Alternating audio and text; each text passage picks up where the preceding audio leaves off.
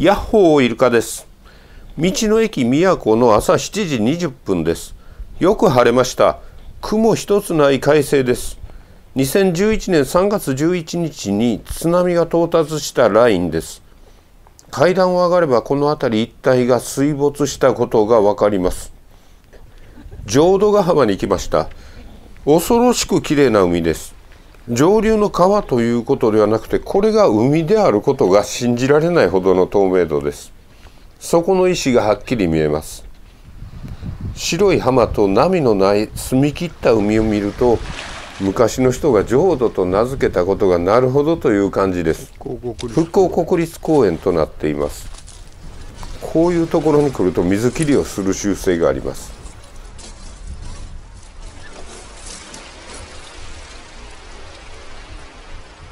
トンネルに入ると歌を歌う習性があります。おじいの形見の三振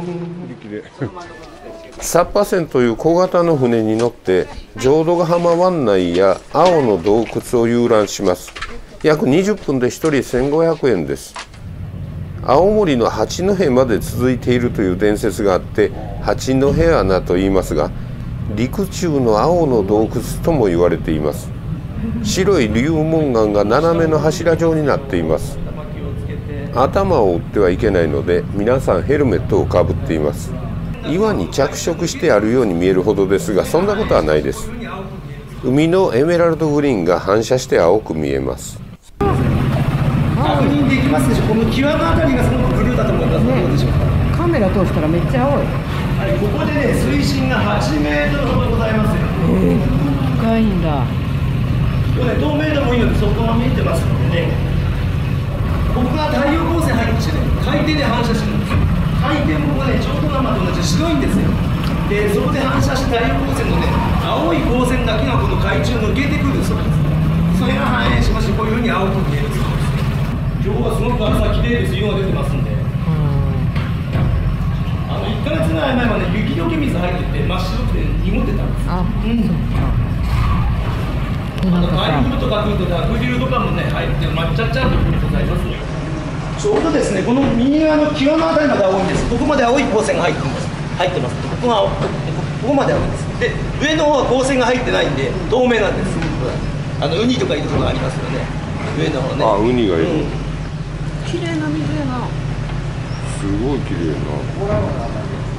あのこの午前中はね天井まで青いの分かりますまた反射してるんです。よはいそれでは船下がってまいります。あの急にあの眩しいですからね。現実に戻りますよ。現実に。眩しいですはいこのようにね浮いてます。ね浮いてる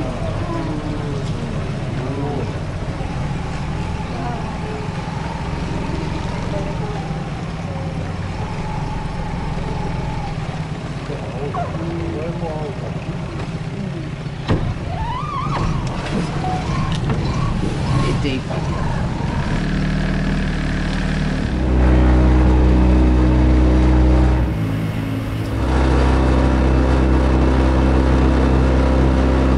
青の洞窟ということで青色のソフトクリームを食べました。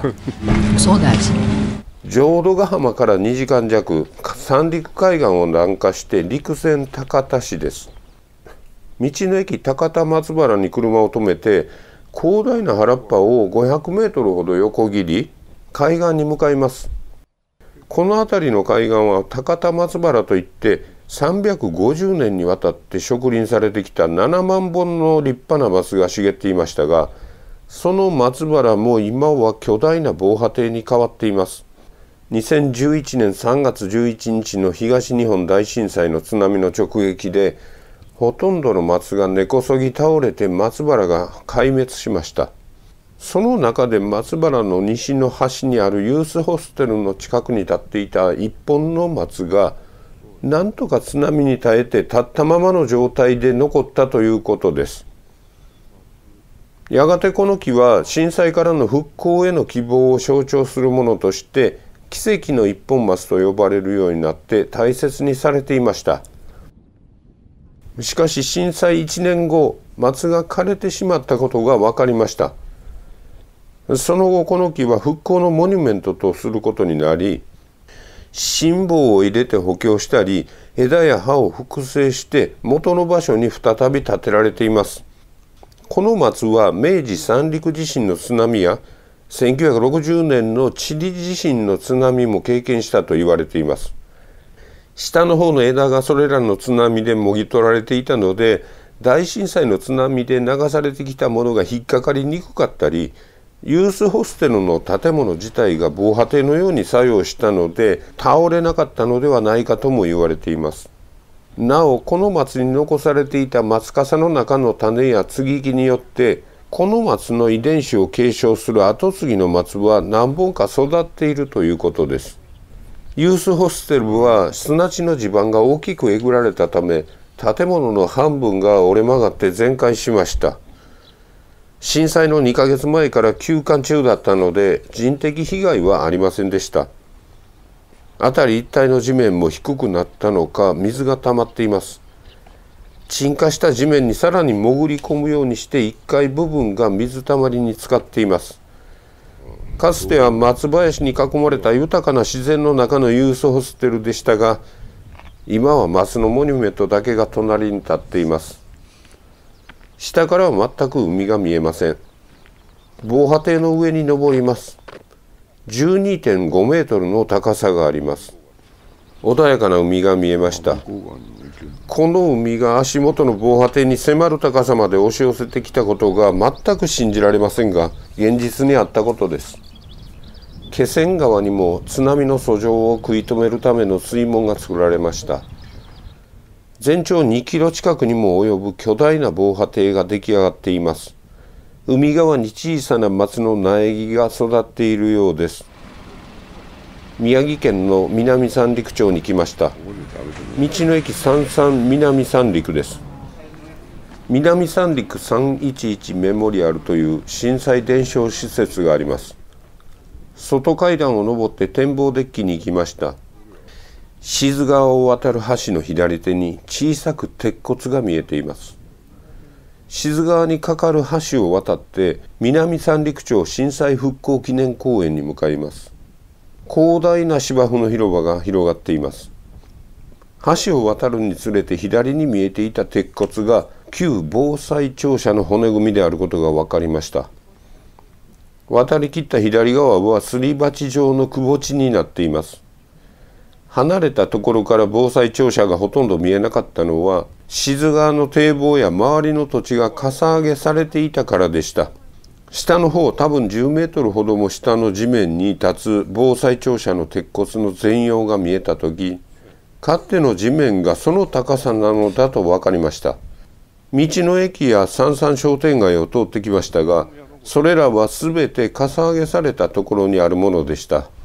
その高さよりもずっと低いところに立っている鉄骨を見て一体何と言えばいいのか呆然とそちらに伸びる階段を降りました。13年前にテレビの報道で何度も目にしたことを覚えていますが近づくにつれてそれとは全く違う圧迫感を感じました。白い外階段の手すりがぐにゃぐにゃに曲がっています。3階部分にわずかに残る外壁。もぎ取られた細い鉄骨。静側に向き合う方が正面玄関です。その横には慰霊の花と千羽鶴がありました。43名もの人がここで亡くなったことを思って黙祷しました。この後南三陸三々商店街にも行きましたがそれよりも震災以降の話を続けます。1時間半ほど南下して女川町の旧女川交番を訪ねました。すり鉢状のくぼみの底に旧女川交番があります。周りの土地は全てかさ上げされて元の地面の高さはこのくぼ地の下です。草刈りはあえてされておらず雑草や雑木が生い茂ります。鉄筋コンクリート2階建てのこれは屋根部分です。それが縦になっているということは交番自体が津波で横倒しになったということです。12階の壁部分はなくなり木が生い茂っています。さらに進むと底面が見えてきます。地中深く埋め込まれていた基礎の杭が引き抜かれたり折れたりしています。鉄筋コンクリートの堅牢な建物がこのように基礎から横倒しになることは他に類を見ないことだそうです。津波の威力の凄まじさが分かります。勤務中の2名の警察官は大津波警報発令後パトカーで避難を呼びかけつつ逃げ遅れた人を乗せて高台を目指していたので助かりました。しかし付近は漁港を中心とした海抜の低い町並みで逃げ遅れて亡くなった人行方不明になっている人は女川町全人口の1割近くにもなるほど悲惨な被害を受けました。陸前高田市南三陸町女川町で一つずつ震災の遺構を回りましたがそれらはほんの一部です。東日本大震災では多くの犠牲者を出し13年経った今もなお行方のわからない人が多数いらっしゃいます。そんな中で果たして我々が震災の遺構を見に行ってよいものかどうかそれをまた動画にしても良いものかどうか遺族でも関係者でもないいわば部外者は遠慮した方が良いのかとも思いました。そういうことは今でも何が良いのかよく分かりません。わからないままですがとりあえず動画を作ってアップしました。南三陸町の旧防災庁舎はそこで亡くなった方のご遺族や関係者からすれば実に忌まわしい被害現場であり存在自体に心が痛むと思います。そんなものは今すぐにでも取り壊してほしいという気持ちになるのは当然のことです。職員の遠藤美希さんが津波襲来直前まで住民に避難を呼びかけ続けました。そのことは多くの人の命を救ったに違いないと思います。しかし同時に彼女自身は救われなかったことを忘れてはならないです。そのことに対するご本人やご家族の悲しみや無念があることを想像しなければならないと思います。だから私は旧防災庁舎という震災以降を犠牲者の慰霊や鎮魂の記念碑であるといういうそういう性格のものだけにしてはいけないと思っています。むしろこの場所から出た犠牲者の悲しみや無念というものをそこに訪問した人が受け取るための場所なのだと思います。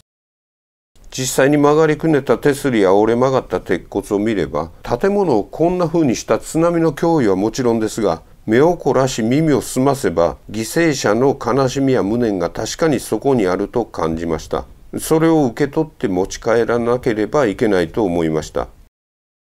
防災のために作られたこの防災庁舎は皮肉なことに防災の不備の象徴になってしまったということです。この防災庁舎はチリ地震の時の2.4メートルの津波の経験を踏まえそれよりはるか上つまり10メートルほどの十分な余裕を持って地上12メートルの屋上が作られました。そこは近隣住民も含めた避難場所にすることが目的でした。それでもその避難場所は着せずして防災の不備の象徴になってしまった。それが現実です。しかし誰がこの高さを簡単に越えてくる津波などを想定するでしょうか。それはつまり完璧な防災など存在しない。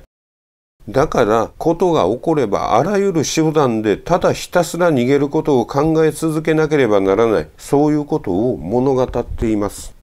陸前高田ユースホステルや女川交番ではその建物から直接的な人的被害は出ていません。しかし同じ町での犠牲者がものすごい数になることを知っておかなければならないです。その人たちが理不尽な天災によって命を奪われた悲しみや無念は決してないものにはできません。完璧とも思える防波堤や水門で囲まれ過去の地面の上に莫大な盛り土を乗せてかさ上げしたとしても犠牲者の悲しみや無念は決してないものにはできません。その象徴として震災遺構があるのだと思います。動画を作るにあたっていろいろと調べてみると奇跡の一本松の向こうに気仙川をまたいで旧気仙中学校が映り込んでいました。津波は3階建ての校舎の3階にまで押し寄せ震災遺構となっています。その日津波を想定した避難場所は学校近くの駐車場でしたが教職員や校長の判断で小道を登って高台まで避難し全員が助かったということです。南三陸でも徳倉小学校の例があります。3階建ての校舎は簡単に津波に飲み込まれ屋上の給水塔まで水没しました。津波を想定した避難場所は校舎屋上でしたが教職員のとっさの判断で高台への避難に切り替えて全員が無事でした。一方で石巻の大川小学校では悲劇がありました。大川小学校は北上川河口から4キロも離れており山あいの川の堤防で海も見えず小学校全体が避難所に指定されていたほど安全であると考えられていたこともあり避難が遅れ北上川を遡上してきた津波で多くの児童と教職員が犠牲になりました。明暗を分けたことは何か？何が正しくて何が間違っていたか？結果で検証されるしかありませんし結果が悪ければ判断の責任が問われます。しかしここで責任について私が言えることは何もありません。言えることがあるとすれば災害の瞬間においてその場でできる最善の判断をすることは困難を極めるということだけです。その時その場で自分が当事者であった場合に結果を予想して正解を選べるかそんなことは到底できそうにありません。完璧な防災など存在しない。だからことが起こればあらゆる手段でただひたすら逃げることを考え続けなければならない。そういうことしかないと思います。わずか1日で被災地のことは何も分かりませんが巨大な防波堤や大規模なかさ上げでインフラの再建は進んでいるように見えました。よく整備されたきれいな広大な芝生の広場もあり素晴らしいデザインの立派な建物もありました。南三陸三三商店街は観光客で賑わっていました。観光が被災地復興のきっかけになるのは素直に良いことだと思います。そして三三商店街まで行くならもちろん少し歩いて旧南三陸防災庁舎を見に行けば良いと思います。それを見て持ち帰れるものは大きいと思います。浄土ヶ浜のサッパ船の遊覧が終わる頃かみさんがこの辺りの被害のことを船長さんに聞きました。うちの会社は水没しておりますよ。そういうふうに船長さんが言葉少なに軽く返答されたことを覚えています。今は浄土のように美しく穏やかな海も13年前には地獄を経験しています。そこに住む人の生活や心の復興はまだまだこれからなのだろうと思いました。我々が被災地をめぐって家に持ち帰ることができたのはそういうことでした。我々にとっては意味のあることでしたし行ってよかったと思っています。今日も最後までお付き合いありがとうございました。それでは次の動画でまたお会いしましょう。